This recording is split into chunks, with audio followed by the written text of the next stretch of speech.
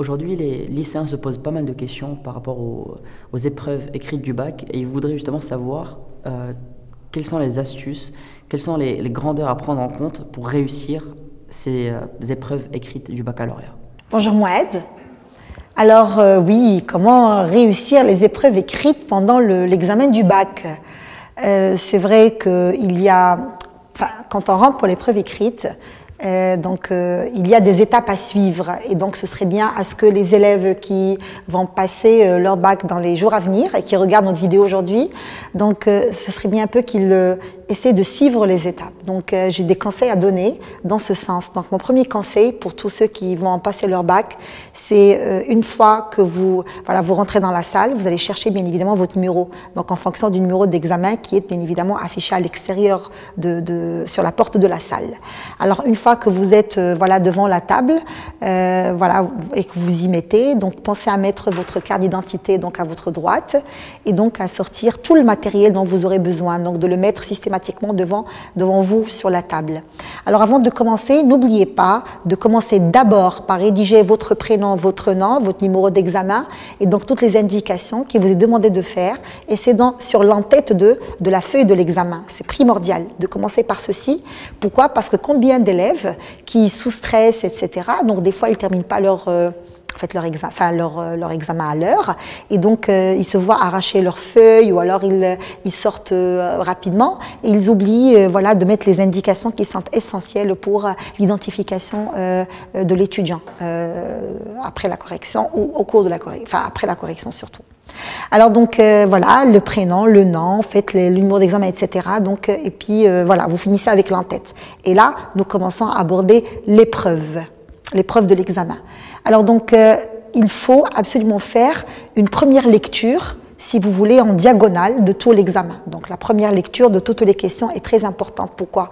Parce qu'elle va vous permettre d'identifier les questions qui vont vous prendre beaucoup de temps et les questions qui vont prendre moins de temps. C'est important.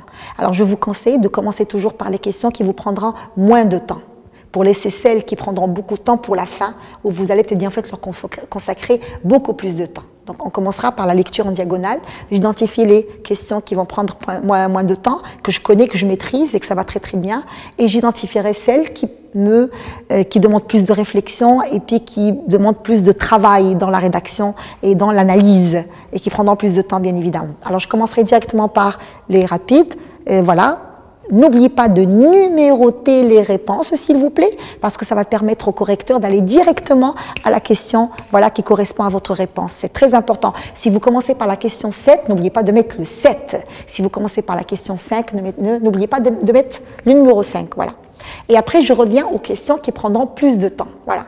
Alors, euh, il faut aussi que je fasse attention, bien évidemment, euh, aux questions que... Euh, dont je ne connais pas la réponse sur le champ. Vous savez, sous, sous stress et donc sur la, lecture diagonale, des fois je lis une question et je suis stressée et j'ai l'impression que je ne connais pas la réponse. Ne vous attardez pas sur les questions où vous avez l'impression que vous ne connaissez pas les réponses. Allez vers les questions où vous savez les réponses. Euh, ça va aller plus vite et ça va euh, surtout euh, vous permettre d'avoir plus confiance en vous. Et puis, euh, vous allez être plus serein pour les questions voilà, où vous avez un peu de doute. Maintenant, quand je reviendrai aux questions pour lesquelles j'ai l'impression que je ne connaissais pas la réponse, il s'agit de les lire, les lire franchement plus longuement, leur donnant le temps. Et puis, n'oubliez pas de souligner avec une couleur différente les mots clés de la question. C'est très important parce que des fois, nous avons des phrases bien compliquées. Alors, quand on se concentre sur les mots-clés de la question, on arrive à connaître de quoi il s'agit et qu'est-ce qui nous est demandé dans la consigne. Alors, corrigez, enfin, soulignez-les en, en couleurs différentes et puis vous allez essayer systématiquement de relire la question et par la suite, vous allez la reformuler par vos propres mots par vos propres expressions afin bien évidemment de l'intérioriser et de vous l'approprier. Par la suite, donc je commence la réponse. Maintenant, pour répondre, ben, il faut toujours utiliser le brouillon qui est à côté. Maintenant, il ne s'agit pas de tout rédiger sur le brouillon. Pas du tout. On met le numéro de la question, bien évidemment, et ce qu'il faut rédiger, rédiger sur le brouillon, c'est uniquement le plan de la réponse. Vous allez rédiger le plan. Je vais commencer par ceci, cela et cela. Et par la suite, je reviendrai sur le propre pour rédiger entièrement toute la réponse. Donc je reprends. Sur le brouillon, on mettra que le plan de la réponse, mais jamais la réponse en entier. Alors, il faut bien évidemment éviter les ratures au maximum et surtout rédiger des phrases qui soient simples. Sujet, verbe, complément pour éviter les fautes et pour éviter les contresens. C'est important. Alors donc, euh, n'oubliez pas que le temps rentre également dans l'épreuve de l'examen. Si vous avez une épreuve pour deux heures, vous êtes censé la finir en deux heures, pas plus.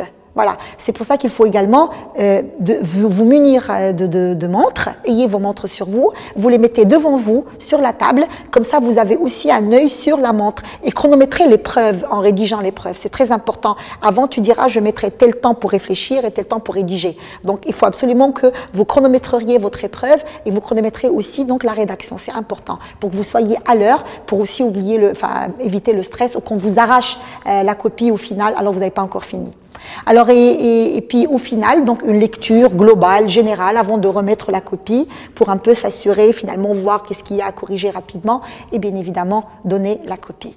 Bon, maintenant, une fois que vous aurez remis la copie, euh, s'il vous plaît, n'oubliez pas de signer, donc euh, faites la feuille de signature que, le, euh, que, que, les surveillants auront sur la table, donc signez votre présence à l'examen avant de quitter la salle. Alors, une fois que vous auriez quitté la salle, vous allez rencontrer vos copains, vos camarades qui vont commencer à parler de l'examen et des réponses de l'examen. Évitez d'en parler quand vous auriez fini et terminé une épreuve, quand vous quittez, ça y est, vous oubliez, vous êtes sur la prochaine épreuve. Voilà, et oubliez l'ancienne. À vous toutes et tous qui regardez cette vidéo, je vous souhaite bon examen et puis bon courage pour votre bac.